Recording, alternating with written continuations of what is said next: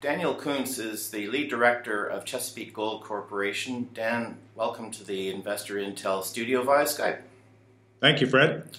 Dan, you've been a senior officer of many different public companies and mineral exploration companies, and you've been on the uh, the team that found the huge deposit at Oyu Tolgoi in Mongolia.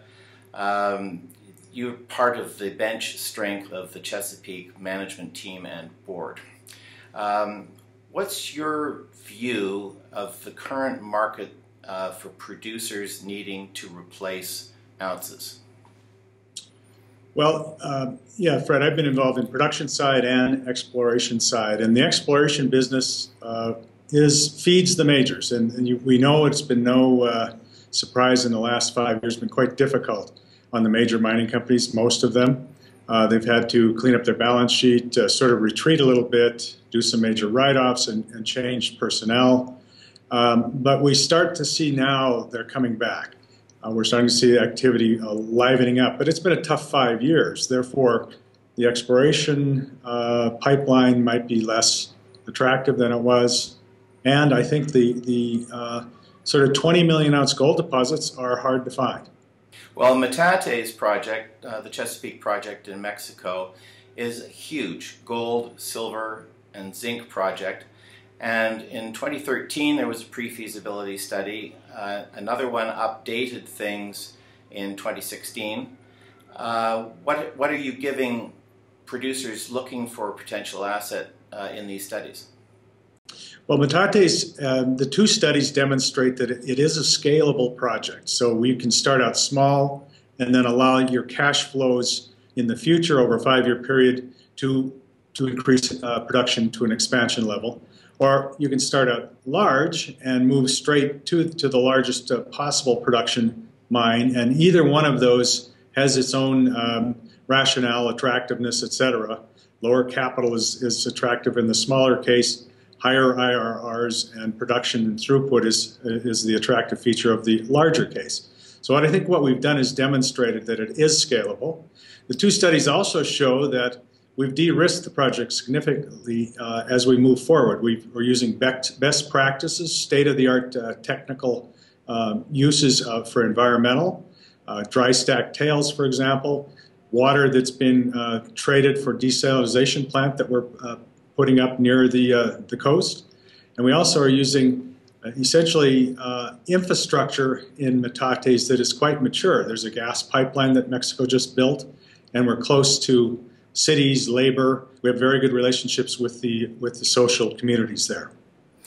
Uh, my understanding is that the water has been a huge issue for a number of other operators, a huge increase in cost in the last year alone in Mexico. It's very true, and uh, the, the, the nation is starting to um, view it quite seriously. Of course, there's been there's been subject to drought. Um, subject to depletion of waters, uh, uh, let's call it groundwaters and, and, local waters. So as such, it's a very important issue. Metates will use water, but we've gone through quite a bit of engineering and study to recycle as much as possible, and also, as I said, to trade water that we will produce fresh water from the sea, and, and then that will charge uh, systems closer to the, to the plant and then we'll trade those waters for water uh, up near the mine. Essentially, you're fixing the cost of water for a future producer. Absolutely right for the 30 plus year mine life. Uh, Dan, what's the what's the exploration potential in the Metates area? Well, one of the big um, issues about Metate is that we have a, a large deposit but a higher capital um, front end associated with. So you might say that capital intensity per ounce is pretty high if any of the features you look at, that would be the one that that's a, challenge. And as such, we've looked uh, at satellite um, deposits that may exist near Metates. And we have a program. It's going very well. We're pretty excited about two of the nearby properties. So we're advancing those. We see some potential there that could be very, very um, beneficial to the the long-term life of, of, the Metates project by being able to feed some of the ore from a satellite pit into that existing uh, equipment and plant when it's built. A couple of the reports that I've seen on Chesapeake suggest that the ounces in the ground valuation uh, certainly uh, at the end of 2015 was substantially lower than some of the other public companies that have very large assets. Is that still the case? It is still the case. We have seen a, a, an attractive run up from a very low share price um, at, at, the bottom of this terrible market we've been in over the last several years.